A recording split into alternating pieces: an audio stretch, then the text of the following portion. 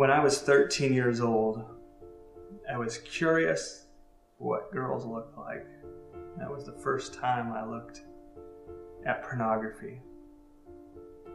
And over the years, curiosity turned into habit. But I thought, it's all right.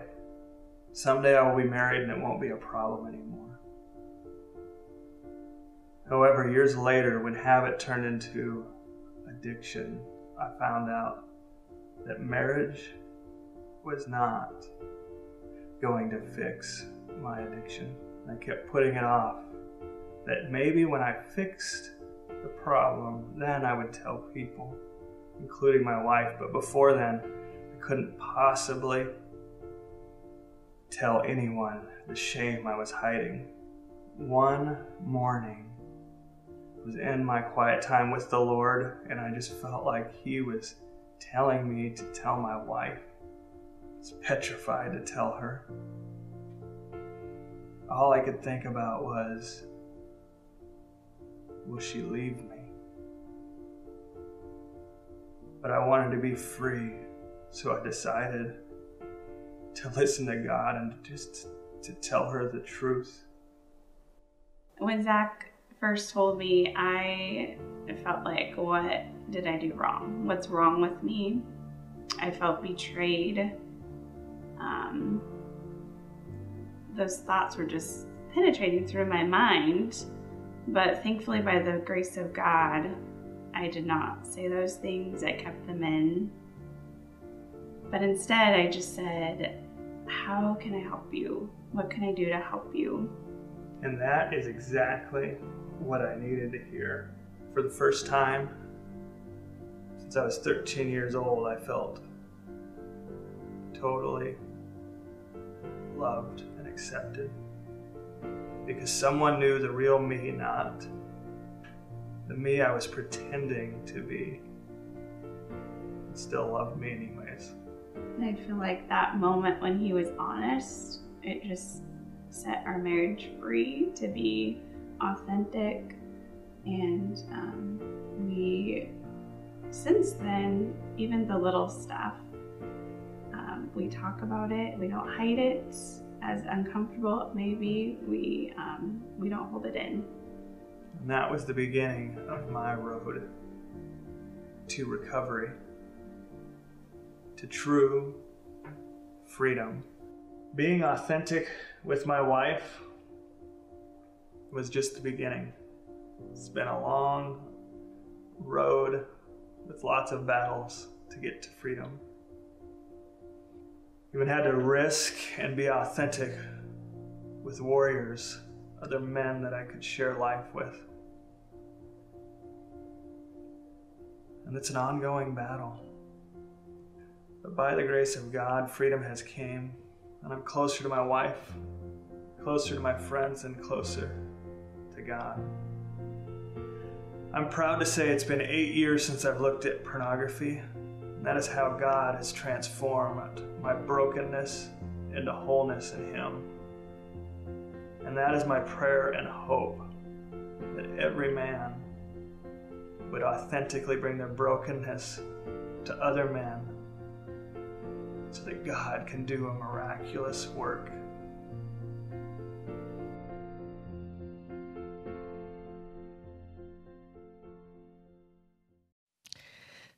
I don't know what that brings up in you. But for me, I have to think of, first of all, just admiration for their bravery, their courage in coming forward and saying, This was an issue and this blew up our marriage and God has helped us to heal. And, and we've used this picture of kintsugi, which is a Japanese art of taking a broken piece of pottery and not just jamming it and gluing it back together, but, but of having the, the cracks filled in with gold powder so that it becomes in fact, a work of art. It becomes something more beautiful and interesting than it was to begin with. And I think of the joy of what Zach and Rachel experience now and the integrity and the honesty of which, which they can now share their story because it's something that they've worked through. And, and that's beautiful, isn't it? It's, it's something that attractive.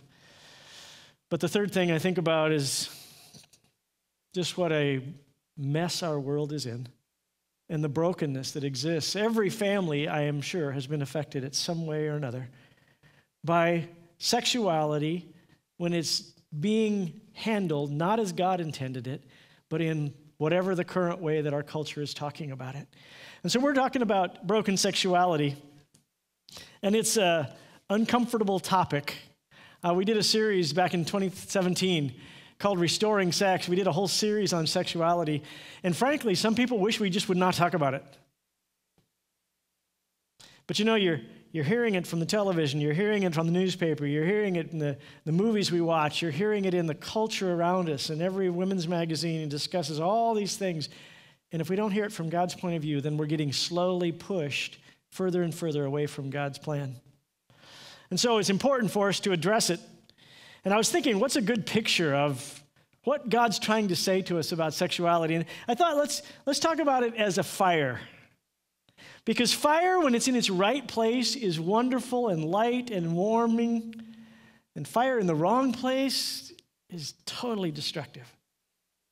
And you know, you think how dangerous it is, and you say, God, what were you thinking when you created sex? I mean, why didn't we just like pollinate like the pl- uh, flowers or, or some other much less scary way of continuing on in this species? And you know, I'm sure some of you felt like that too. And some churches say don't talk about it. Some churches say sexuality is just for having children, that's all. Our culture says it's for fun and pleasure. Now that we've solved the pregnancy problem, now that we've solved the being able to come back from the STDs, just whatever two adults want to do is all fine. And the wildfire is burning our culture down. And you think, why does God do this? Why is it? And, and I would say also, there's so many people here who've also been damaged by other people's misuse of sexuality. The statistics I read is that one in four women is somehow subject to sexual assault at some point in her life. And I think it's higher than that, honestly. And the statistics on men are somewhat just behind that a little ways. And so you think, what, what is God's plan? And in Genesis 2, God gives us the plan. There was one man and one woman, and they were in a covenant love relationship for life, and they were naked and unashamed. And, and fire in the right place is wonderful. I don't know about you, but I think a warm shower in the morning is one of the best inventions of modern man. To have a fire in my hot water tank, that's wonderful. To have it in the fireplace, fire does more than just warm you, doesn't it? There, there's never been a better conversation starter than a campfire. And somehow there's that drawing, and it's a good picture that sex is far more than a physical thing. It is to be an emotional response, it's to be a spiritual response. In the right place, fire is wonderful. And in Genesis 2, God says, in fact, Jesus says, I made them and they were naked and unashamed. In fact, he goes on and he says, That's why a man leaves his father and mother. That's the legal part of marriage, where you legally leave your home and create a new home. He's united to his wife. That's the emotional love commitment, covenant and they become one flesh. That's the sexual component, where it says that in some mysterious way that joining ties them together, and it's to be a part of their ongoing intimacy together in a marriage. In fact, 1 Corinthians 7 says that couples who are married shouldn't not not have sex. It should be a fire that's stoked. And he says in there, we're naked and felt no shame. That that was the beautiful, wonderful picture in where it was supposed to beginning something that was a lifetime renewal of that intimacy that we desire. But fire that's not where it belongs is incredibly destructive. We've been living with smoke in the air for quite some time. We had friends that had to leave their house.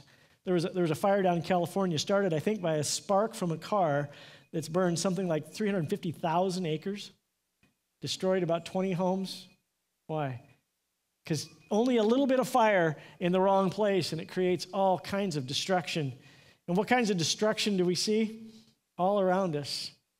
There are marriages being broken up as partners cheat. There's the effect of pornography and how it is destroying individual lives, In fact, I, I, saw a new website called Stop the New Drug, and it's actually a secular site against pornography. They're beginning to say, you know what? This is destructive, this is damaging. And so you see the fire outside where it belongs, and it's terribly destructive. I want to read to you a passage from John chapter 8, if you'd open your Bibles. And I'm going to read a story about Jesus dealing with a woman caught in adultery, is the name of the, of the passage, or if you have a, a title over it. And I, and I want to first say a caveat. If you're reading a more modern translation, it'll be saying, This part of the scripture is not in the earliest manuscripts. And that is true. In fact, it's not in the earliest manuscripts of the book of John. Some of the manuscripts have it in the book of Luke. And there are all kinds of different scholarly debates about where this came from. Personally, I believe that this is a genuine story of Jesus. I think it was told orally and it was then inserted later. And I think that because, number one, it sounds like Jesus. And number two, what he says here is reinforced in other places in the scripture. And so we're going to read this from John chapter 8, and it's a picture of a very ugly and emotional scene. So starting in verse 8, verse 1. They all went home, and Jesus went on to the Mount of Olives. At dawn, he appeared again in the temple courts, where all the people gathered around him, and he sat down to teach them. And the teachers of the law and the Pharisees brought a woman caught in adultery. They made her stand before the whole group, and they said to Jesus, Teacher, this woman was caught in a, the act of adultery. The law, in the law, Moses commanded us to stone such women. Now, what do you say? They were using this question as a trap in order to have a basis for accusing him. But Jesus bent down and starting to write on the ground with his finger. And when they kept on questioning him and questioning him, he straightened up and he said to them, Let any one of you who is without sin be the first to throw a stone at her. Then he stooped down and wrote on the ground. And at this, those who heard began to go away, one at a time, the older down to the younger. until only Jesus was left. And with the woman still standing there, Jesus straightened up and asked her, Woman, where are they? Has no one condemned you? No one, sir, she said. Then neither do I condemn you, Jesus declared. Go and leave your life of sin. As I was reading through that, I, I thought this is often entitled The Woman Caught in Adultery. But you know what the truth of this story is? Everybody in this story is caught except Jesus. He's the one they're trying to catch, and he's the one that evades the trap. And they're trying to catch him by using this woman as a pawn. They bring her out, and if you can imagine this picture in your mind, they're in this big temple square. It's the temple where God's dwelling is, it's where they worship God. And he's, Jesus is having a, a, a church service. And all of a sudden, they grab this woman by force and they bring her right up to the very front. Can you imagine if somebody hauled a woman and grabbed her right here and came up and accused her in front of everybody of adultery and then said, Should we kill her right here? It would make things a little awkward, wouldn't you think? And they're demanding an answer from Jesus. And they were trying to trap him. If you understand how this worked, they were trying to find a way to discredit him with the people that were following him. Thousands were following him. And, and this was a power struggle. And this woman was just a pawn and they were using her in an awful way. And so they were trying to, number one, discredit Jesus. So they said, in the law, Moses said we should stone her. So are we going to follow Moses or not? And if Jesus said, let her go, they could say, see, he's soft on sin, he doesn't really believe the Bible, and they could discredit him that way. If he said, let's stone her right here, they could paint him as aggressive and degrading the woman and somehow being harsh and they could, they could somehow discredit him that way. So they are, in that moment, trying to create a, a huge pressure. And Jesus dodges the whole thing and he just starts doodling. And what he's doing is he's making everybody think about what they're doing and where they are. It's like you freeze the moment in time, and he takes himself out of the answering right now kind of mode, and he deals with the people that are caught. The woman is one person is caught, but we are all caught in this story. And she's caught in sexual sin. And there is all kinds of ways in which sexual sin catches us. We live in a culture where children are being exposed to sexual information at a younger and younger age. So that by the time the parents finally sit down and say, We need to have that talk, the kids are saying, What do you want to know? And why is that so damaging? Because instead of it coming from a careful mindset, instead of it being carefully explained, they're getting it from the locker room, they're getting it from magazines, they're getting it from the internet, and they're getting all kinds of wrong and destructive information. And then couples are jumping into a sexual relationship. Sometimes they start dating, and within two or three weeks, they've gotten involved sexually. And sex is such a powerful thing, it distorts the whole relationship. You can't have those deeper connections of soul to soul and spirit to spirit because it all becomes about the physical, because it's such a powerful thing. I remember a teacher when I was in high school, he said, You know, having the hormones that we have as teenagers is like putting a Porsche engine in a Volkswagen body. and there's all this drivenness, but it doesn't lead to health. In fact, it's a wonderful way in which to see God as our Father. Because as a parent, you tell your kids, eat your vegetables and not the candy. Go to bed. I don't care if it's summer and you're not tired, go to bed. You need to do your homework. Do kids think any of that makes sense? No. They resist it. Why? Because they have no context in which to understand it. And God is a good father, and whenever He gives boundaries, it's to love us, to protect us, and to provide for us. And when we throw those boundaries away, it brings destruction. I can't tell you how, how many marriages that I've dealt with that are blown up by cheating on each other. And, and we call it an affair. Doesn't that sound nice and light? Now, the Bible uses harsh words like fornication is sex before marriage, and sex outside of your marriage is adultery. And it's like, ooh, those sound ugly. Let's not talk like that. But that's what God calls it. That's how He sees it. That's how it is. And His desire for us is that we would be pure and that we would enjoy the beauty that He's created. There's a pastor online, and he was talking about this process of learning to love each other that takes time. And he said, You know, I thought we were in puppy love to begin with with my wife. Turns out we were just in heat.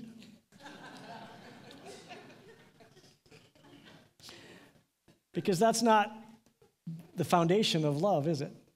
There is sexual attraction and it can't be denied, but it's so easy in our culture. And I, I can't tell you how many couples get involved in cheating on each other, and it sometimes starts with a text to just a friend, and then it develops, or a Facebook with an old high school romance, or the, the internet and the pornography that comes in. Oh, you know, people used to have to go to a prostitute district, a red light district. We live in a red light district, it is everywhere around us. And what happens is so many people are caught in adultery. There's a tremendous power in lust. And I think this is really important to say. This is not just about the lure of pornography. The deep desire we have is exactly what Zach said on the, on the recording. He said, I want to be known and I want to be loved. I want somebody to accept me just like I am and to, to want me and to love me. That's our deepest desire. And listen carefully the affair, the pornography, the, the puppy love all provide this, this lie that you can have deep acceptance without the complication of relationship. Are relationships complicated? You should have said that a lot louder. Are relationships complicated? Yes. You guys have been married for a while, some of you, right? Yeah. Relationships are complicated, and, and especially pornography gives this message. You can have the acceptance without all the complicated part of relationship. What they tell us is that allure, that pornography actually begins to change your brain. They, they talk about it now more like it's a drug than it is having to do with sexuality because the hit on that, that pornography or that flirting or that affair, it creates that dopamine surge in your head that's like a drug. But the problem is, is that lust is not only powerful, lust is destructive. And so that I need more and more and more to give me the same effect. And it needs to be more and more graphic and more and more ugly for me to get the same kind of effect. And listen carefully. It also changes your brain to make normal sexuality not exciting enough. Much too complicated for that intimacy. So, the danger of it is that it gives a temporary euphoria that's somewhat like drugs, but it doesn't satisfy.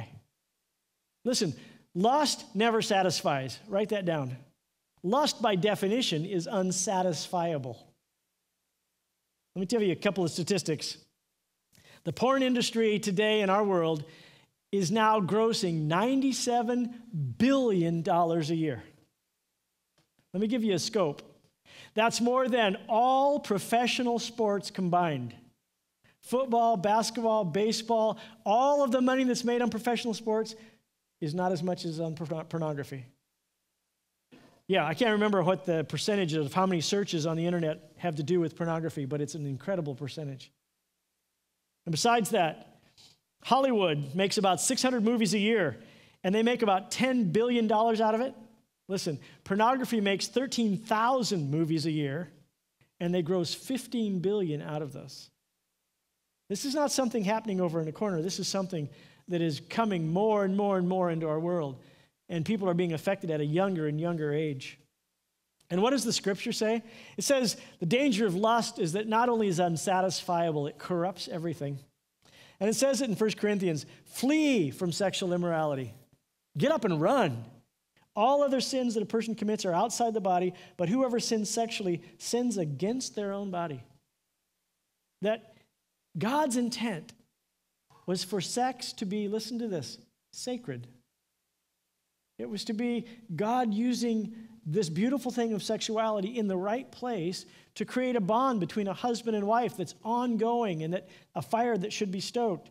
And he says, Do you not know that your bodies are temples of the Holy Spirit who is in you, whom you've received from God? You are not your own, you were bought at a price. Therefore, honor God with your bodies.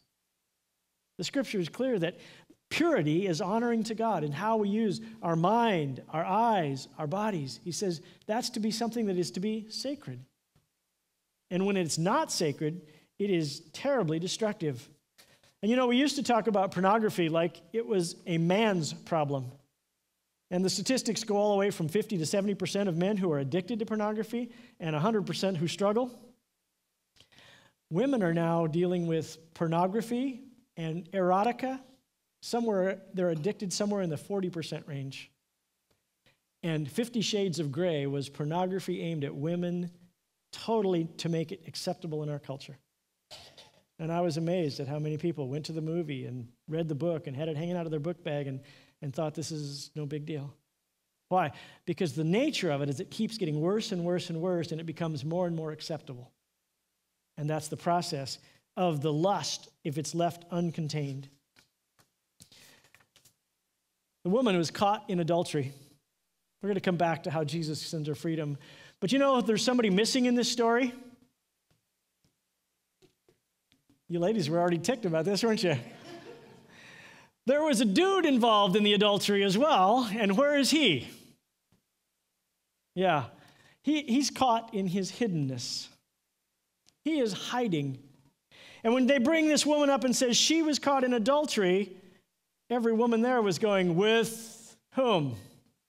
And I think this is a powerful illustration about how often sexuality has been used to blame the woman for the problem. Where was that guy? I don't know if he was a pawn also. It, it makes me suspicious.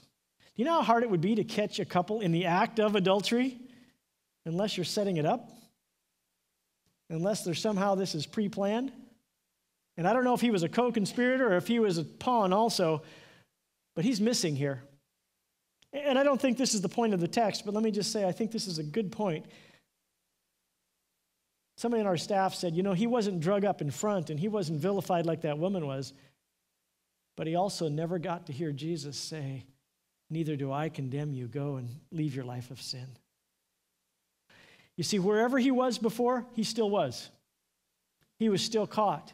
And what Zach said, I think, is so true is we think somehow, oh, this is no big deal, or it's not this one time, or this won't hurt, or I'm not really addicted, or I can just handle it myself. And Zach made a great comment. He said, You know, sin grows best in the dark. And when I refused to tell anybody, I kept thinking I could just get on top of this, but there was no honesty. And therefore, I kept failing. Zach also remarked, he said, evidently, when I'm trying not to cry, I talk slower than I have ever heard anybody talk. Did you notice that? It's because he was trying to keep it together. So there was a guy that was caught in his hiddenness. And I have to tell you in honesty, after we made this recording, there was a lot of discussion on our staff about whether or not we should show it. Because this is raw stuff. And sometimes in church, we have safe sins and not safe sins. It's okay if you had this struggle, but not if you have this struggle. And sometimes we have a two tier society. These are the project people, these are the people with real problems, and these are the good people. And that leads to a lot of hiddenness because I don't want to be one of those project people. And then there's a third group there. And they were caught in condemnation. I don't know if you can imagine, but I, I picked some stones up, and these are not pretty stones, these are ugly stones. And if you've ever been to Israel, you know why that was their capital punishment. The whole place is a rock pile. Can you imagine what it would be like to be in that? There was a movie that was made about an Iraqi woman that was stoned for adultery recently. And the movie was so graphic that people got up and walked out.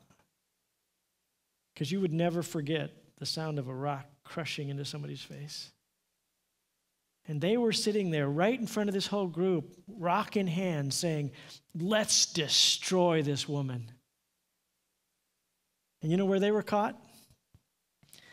They were caught in their own smug self righteousness. They were so caught because they couldn't even see the bigger picture. They were denying the very Son of God in front of them. They were trying to find a way to discredit him and eventually kill him. And they were blaming this woman for sexual sin. And who was, who was guilty of the greater sin? What kinds of people throw rocks? You know, you say, maybe I would never take a big rock that would kill somebody. I'm just going to throw a little pebble and it's called gossip. Do you know what I heard? Do you know what they did? You know what happened? You know who throws rocks? There's some categories of people that throw rocks. There are people who are self righteous and they think, I'm a good person, particularly if I don't struggle with that sin. Oh, they're an addict or they're a pervert or they're whatever names we might use because that's one sin I don't struggle with. And so we can think of ourselves as better than we should. I think the other group is sometimes people who are guilty of the same sin and they just feel so guilty and shameful.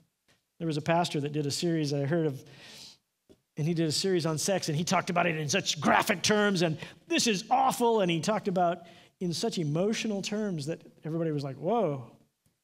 And two months later, it came out that he'd been having this affair for six months. And what was he doing? He was vomiting his own shame on everybody else. He was blaming people and trying to deal with his own, his own hurt. And the third category is, is there are people who have been deeply hurt because their spouse has cheated on them. And it's easy to begin to believe that all women are, all men are animals and all women are cheaters. And to begin to, to take the hurt that you've never forgiven, as we talked about forgiveness last week, and, and you never release that, and therefore you have this anger inside of you that then comes out sometimes against somebody else who's failing. I think all of us have rocks. The question is, what do you do with them? Who throws stones? All of us have a tendency. Whether you are a self righteous person, whether you feel like you are shameful because you've done the same thing, whether you are angry because something like that's been done to you. And that's the ugly side of it. But freedom comes from Jesus. The only person in this story who is free is Jesus, and he's the only one who can bring freedom. And he does something completely unexpected because only free people can set somebody free. And he kneels down, and while they are bringing all this emotional tension into the room, he totally evades it and he starts writing. You ever wonder what he wrote? Having an interesting uh, video I watched on a Jewish, he was talking about Jewish culture and how we see it in the scripture. And he said, I wonder if anybody in that crowd thought of Jeremiah 17, said, Lord, you are the hope of Israel. All who forsake you will be put to shame, and those who turn away from you will be written in the dust. Because they have forsaken the Lord, the spring of living water. Whoa. What if, what if he was just sitting there writing Joseph, Matthew, Levi, of the people that were standing there with the rocks in their hands? What if he was just writing the name of sins? Because he straightened up and they said, Give us an answer. And he said, Okay, I'll give you an answer. The one who is without sin should throw the first stone. You see, in the law of Moses, that was the way it was. It wasn't a lynching like this, it was a trial. But people who came forward and were witnesses had to be so convinced that they were willing to be part of the process. So he said, If you think you're not guilty, then feel free. What a dangerous act. And he, he knelt down to write again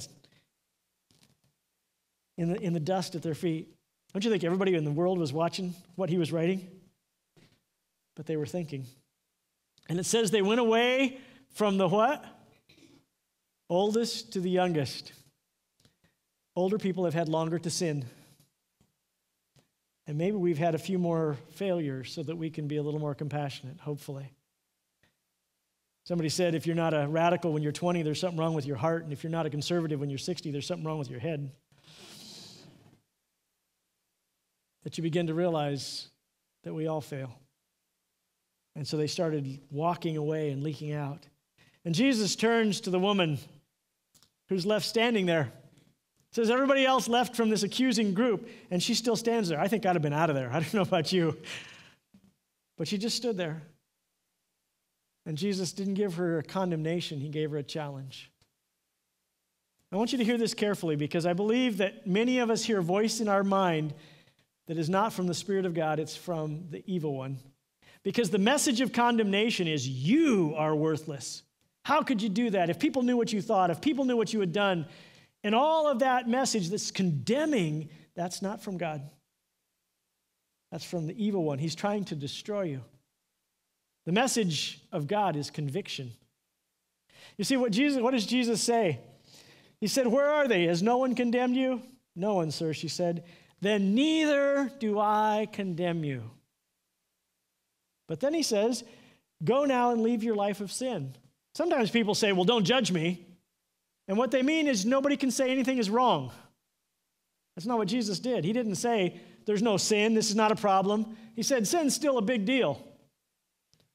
And the answer is not to bring you up here and to publicly stone you, but let me tell you, this is your chance to change. I don't know what your life has been like before this, but this is a chance for you to change. And she heard the message of conviction. And you know the message of conviction is? It's, I love you, and this is damaging to you. Let me cut that tumor out. Let me get rid of that because you don't have the power to do that. You see, we cannot obey God on our own. Only by the life of Christ in us can we obey God. And Jesus said, I do not condemn you. Leave your life of sin. And there's this impressive moment in the, book, the movie The Passion where after the crowd is gone and Jesus makes the statement, she reaches up and he reaches down and he lifts her to her feet. And you know, there's some speculation that she became part of that group that were disciples of Jesus following him around. And I wonder if when Jesus said, Those who love much, those who have forgiven much, love much, if he would be including some people like this woman. You see, his desire was to set her free, not to just condemn her. And I don't know where this all hits you. For some of you, you've been wrestling with pornography or you've been wrestling with sexual sin of some kind. And all the way through it, you've been thinking, I need to talk to somebody. No, I don't want to. I, I can handle this on my own.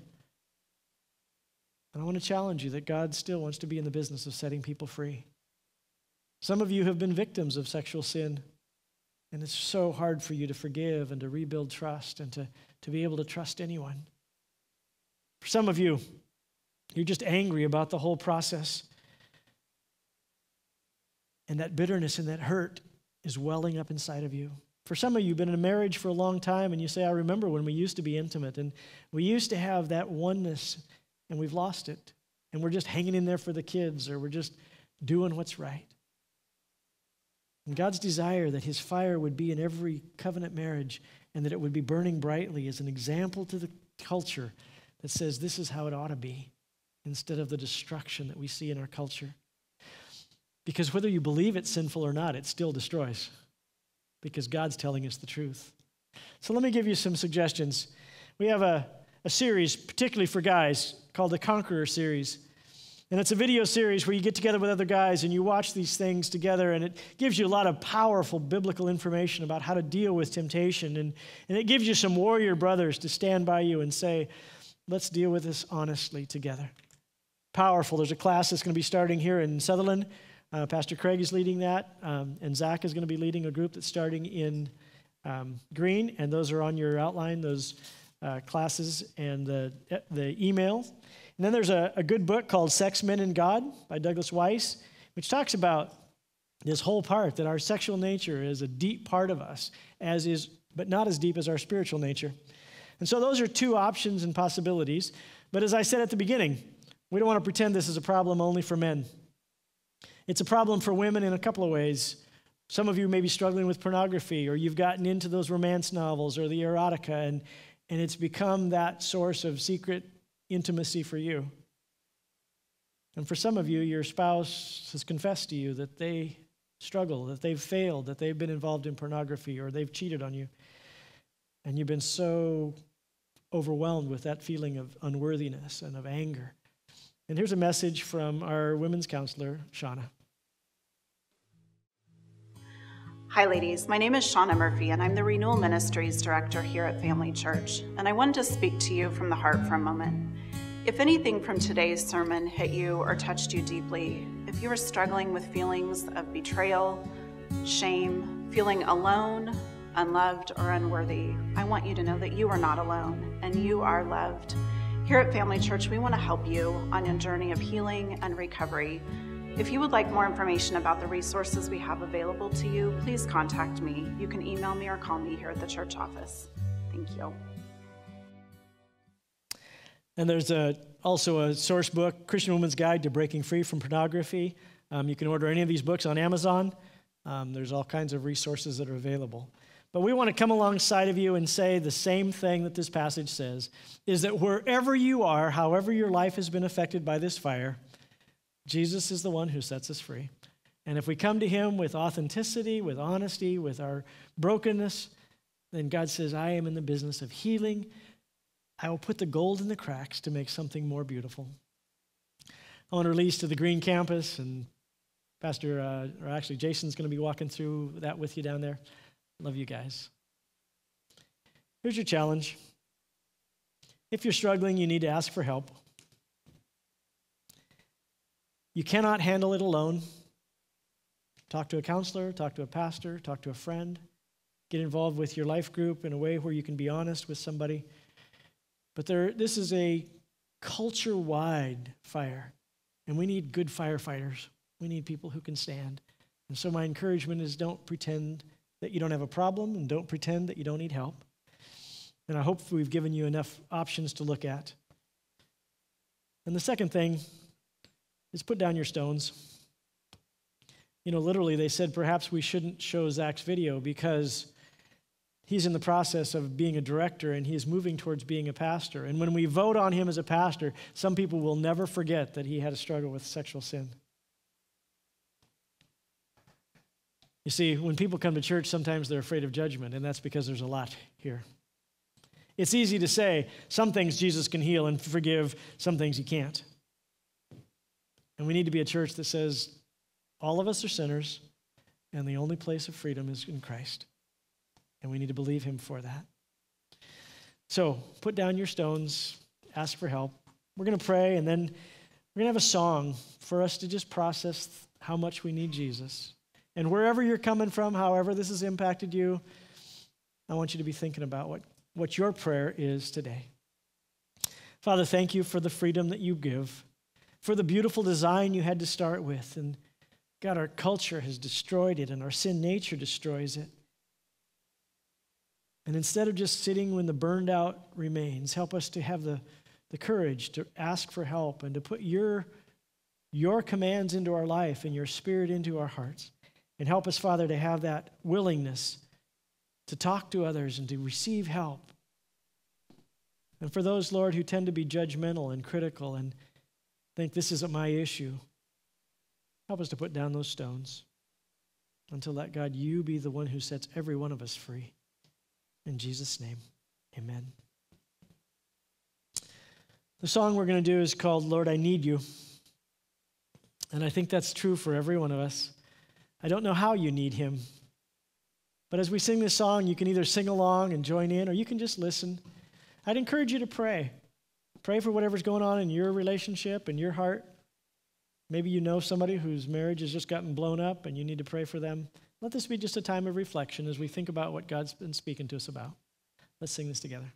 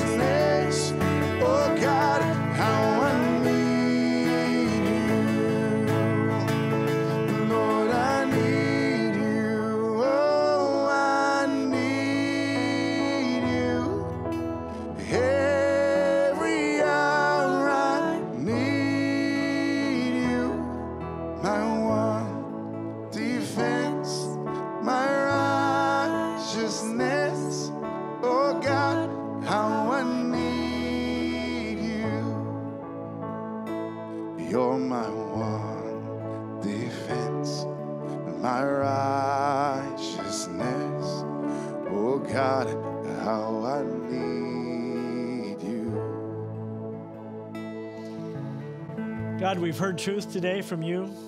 We saw the picture of Jesus in compassion in the middle of a sinful, powerful, ugly situation, providing peace and healing. And Father, I pray that you would bring freedom today. For those that have been injured, that you would give them peace and hope. For those who are caught in hiddenness, that you'd give them courage to deal with it. For those couples who've lost the fire of intimacy, that you'd help them to seek each other and to seek you. And that you would help us to be an example to a watching world of how the fire in the right place is a wonderful thing. God, we need you more than we know. In Jesus' name. Amen. We're so glad that you're joining us by video. And uh, I know that some of you are just from our church family here, and you're uh, just watching because you can't make it this weekend in person. And I know some of you are watching from around uh, the world, really. And so we just want to say we hope that God blesses you through this.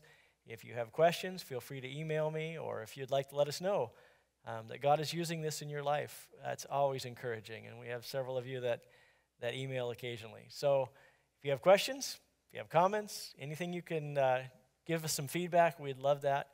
And we trust that God will use this to really enhance your spiritual journey. Thanks.